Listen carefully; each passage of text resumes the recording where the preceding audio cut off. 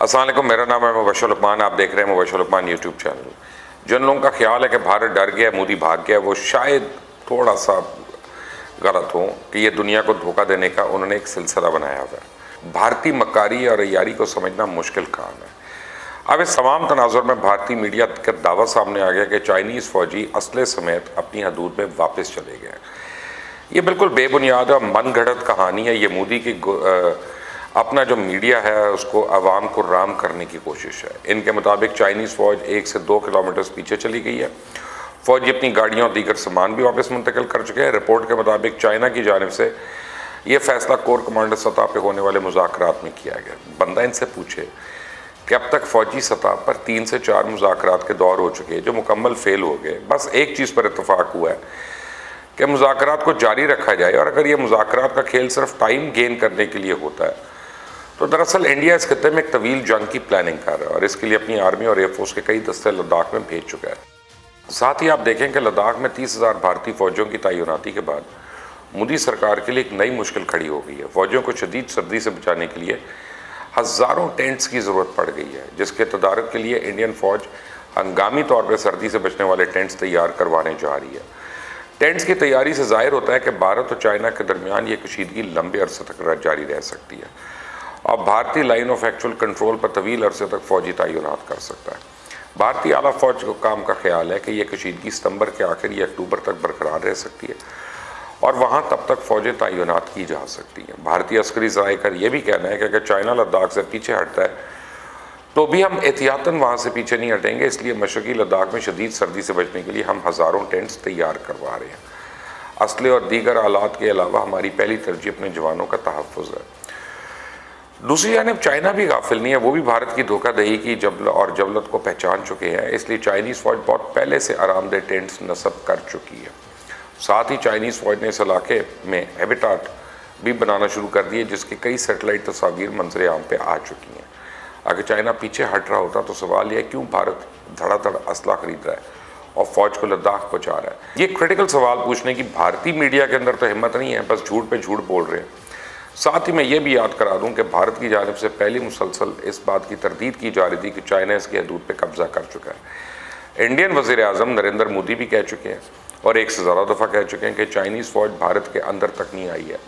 भारतीय मीडिया के ताज़ा तरीन बयान, इंडियन वज़ीर अजम के गुज्त कई बयान पर एक सवालिया निशान बना रहा है। दरअसल भारतीय मीडिया मोदी अपनी ही कौम से झूठ बोलकर गुमराह कर रहे हैं कि चाइनीज़ फ़ौज इंडियन हदूद में नहीं आई। भारतीय मीडिया तो कुछ भी कहता रहता है। असल हकाइक तो चाइना के बयान के बाद ही सामने आएँगे। मशक़ी लद्दाख सेक्टर में भारत के अपाची हेलीकॉप्टर्स भी मौजूद हैं, जो कि इस इलाके में जंगी मकासद के लिए मौजूद तस्वर किए जाते हैं। चाइनीज़ सरहद के नज़दीक एयरबेस पर गैर मामूली नकलो हरकत देखने पर आ रही है, और जंगी तैयारियों की फ़िज़ा में परवाज़ें भी बढ़ गई हैं। भारतीय फ़जाइया के हुकाम का कहना है कि जंगी तैयारियों की परवाज़ों का कार्रवाइयों की तैयारी में इंतहाई मुश्किल दरकार होती है।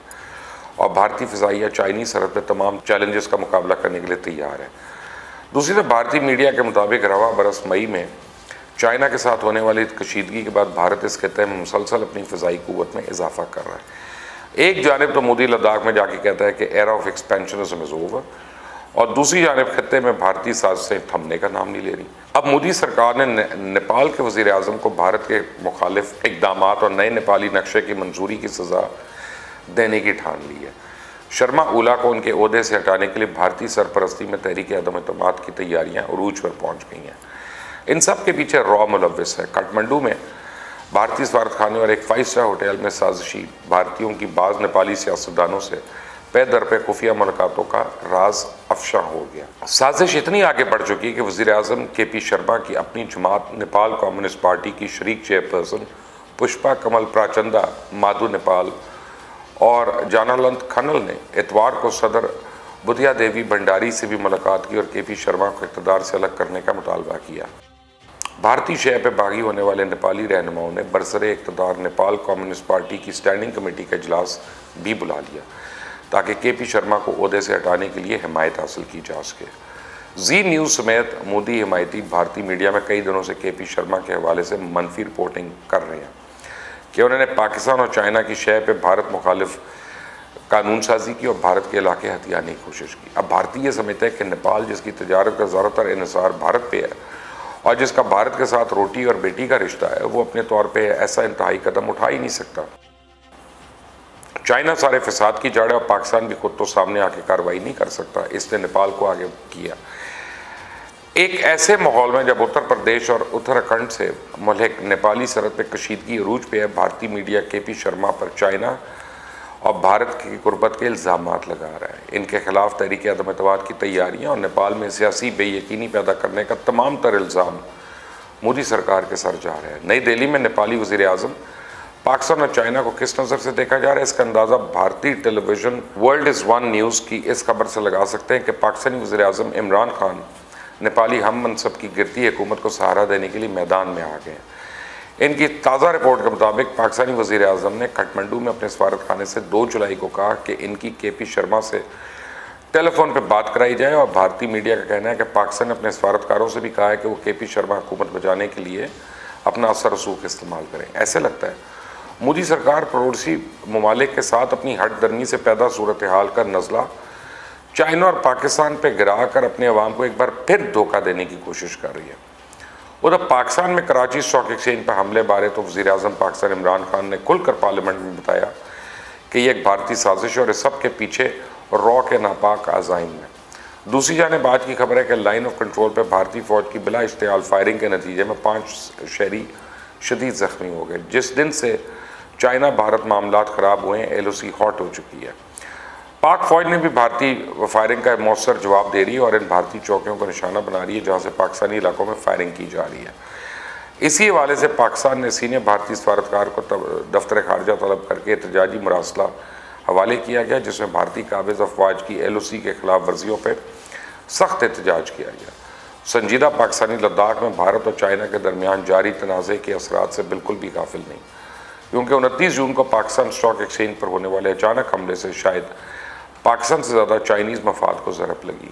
क्योंकि पाकिस्तान स्टॉक एक्सचेंज के 40 फ़ीसद शेयर्स की मिल्कियत Shanghai stock exchange Shenzhen stock exchange और चाइना फाइनेंशियल फ्यूचर एक्सचेंज के पास है। सी पैक के मनसूबे चूँकि बिखरे हुए हैं, इसलिए उन्हें हदफ बनाना आसान ही, लेकिन पाकिस्तान स्टॉक एक्सचेंज पर हमला करके भारत ने एक तीर से दो शिकार करने की कोशिश की। चाइना और पाकिस्तान भारत के साथ अपने अगले पिछले सारे हिसाब बराबर करके ही दम लेगा, क्योंकि ये चाइना भारत कशीदगी नई स्ट्रेटजिक सफबंदी की अक्सी है। और पाकिस्तान भी इसकी सफबंदी का हिस्सा है। एक तरफ़ तो अमेरिका, ऑस्ट्रेलिया, जापान और भारत में जो चाइना का स्ट्रीट ऑफ़ मलाका में रास्ता बंद करना चाहते हैं, इसलिए मुश्किल खड़ी कर रहे हैं। दूसरी जानब पाकिस्तान, नेपाल, चाइना, भूटान और खत्े के दूसरे ममालिक हैं, जो सरहदी तनाज़ात में भारत की सरहदी कवानीन की खिलाफ वर्जियों से तंग हैं।